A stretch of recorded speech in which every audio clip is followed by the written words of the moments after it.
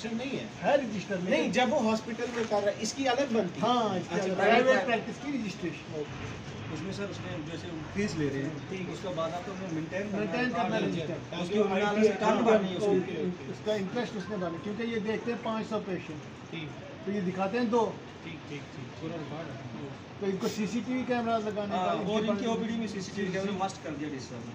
अच्छा। जहाँ भी ये पेशेंट देखेंगे वहाँ कितने इनका फ्लो आता है इनकम टैक्स भी तो है ना। Income tax. तनख्वाह पे देगा चालीस परसेंट। ऊपर देख ऊपर देखा ऊपर देखा ए सही थोड़ा।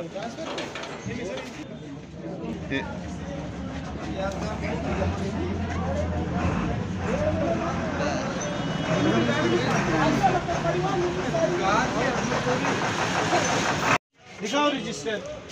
एक दूसरे को इशारे करने से थोड़ी कुछ होगा। बताओ भाई। फिर जनाब चेक क्या करो नमस्ते क्या नाम है इसे? पेशेंट का?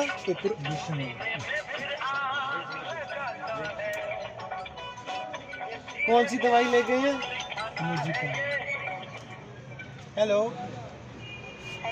हाँ। जी मैडम ये बिशन लाल जी का नंबर है। बिशन लाल?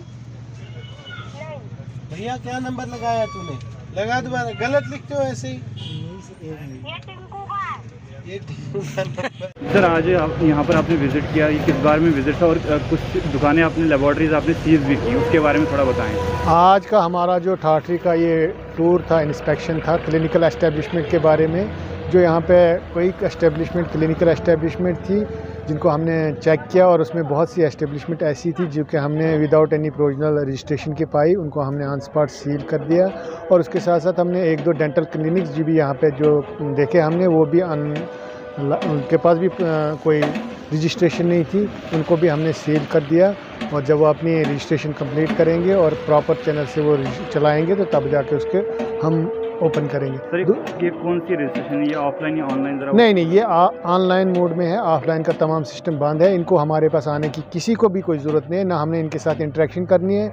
इनको डायरेक्ट पोर्टल पर जाके अप्लाई करना है और draft district registration authority Doda के नाम एक काटना है। उसके बाद ये इनको खुद ही डाउनलोड करके अपने जगह पे इनको अपनी जो प्रोविजनल लाइसेंस होगी वो मिल जाएगी। सर क्लिनिक पे जिस तरह डॉक्टर्स वगैरह बैठते हैं, उनके लिए क्या प्रोसीजर है? सब के लिए एक जैसा प्रोसीजर है प्रोसीजर है। कोई भी डॉक्टर अगर किसी प्राइवेट क्लिनिक पर बैठता है, वो डॉक्टर तब तक वहाँ पर नहीं बैठ सकता है, जब तक वो अपनी क्लिनिक को रजिस्टर्ड ना कराए। अपने आप को उस क्लिनिक का रजिस्टर नहीं कराए और जब उसको प्रोविजनल रजिस्ट्रेशन मिलेगी, तभी जाके वो किसी दुकान पर बैठ सकता है और अपनी कोई प्राइवेट क्लिनिक पर चार बजे के बाद और दस बजे से पहले बैठ सकता है। अदरवाइज़ उसके लिए भी कानूनी कार्रवाई उसके खिलाफ होगी। जी सर मैं जानना चाहता हूँ जिस तरह से कुछ प्राइवेट डॉक्टर हैं जिन्होंने मेडिकल शॉपें खोली हैं वो वहाँ पे बैठते हैं या गवर्नमेंट डॉक्टर जो आते हैं तो उनको अपनी रजिस्ट्रेशन करवानी है? उनको भी एक पोर्टल पे जाके अपने आप को रजिस्ट्रेशन करानी है। रजिस्ट्रेशन करा के उनको प्रोविजनल रजिस्ट्रेशन मिलेगी, ताकि उसी प्रोविजनल रजिस्ट्रेशन पर वो अपनी क्लिनिकल जो है वो वहाँ पर अपनी क्लिनिक चला सकते हैं। सर इसके बाद ये कहाँ का आप विज़िट करेंगे? फ़िलहाल ठाठी में आपने देखो जी हम सबसे पहले कहते हैं कि हर एक एक सबसे अपील करते हैं जो भी लोग हैं जिसने भी क्लिनिकल एस्टेब्लिशमेंट या कोई भी बिज़नेस एस्टेब्लिशमेंट रिगार्डिंग हेल्थ के बारे में खोलना है तो उसको ऑनलाइन जाके पहले अप्लाई करना है। अप्लाई करने के बाद उसको जब हम रजिस्ट्रेशन देंगे उसके एक साल के लिए वो प्रोविजनल है।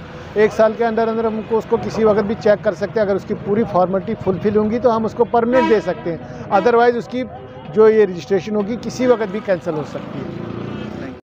देखिए, वर्दी डीसी डोडा श्री विशेषपाल महाजन जी की आफ्टरनून में एक कॉल आई थी कि वो सीएमओ साहब को ठाठरी किसी पर्पज़ के लिए भेज रहे हैं तो हमें डायरेक्शंस थी मैजिस्ट्रेट और पुलिस के साथ इनको एकम्पनी करना।